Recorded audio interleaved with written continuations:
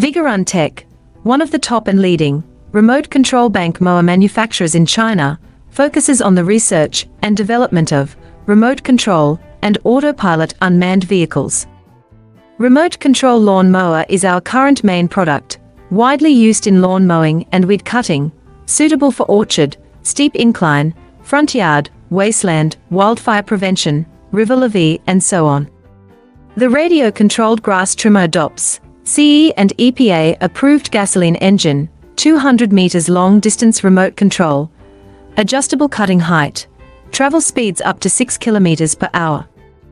Based on the in-depth understanding of our own products, we can provide the best after-sales service.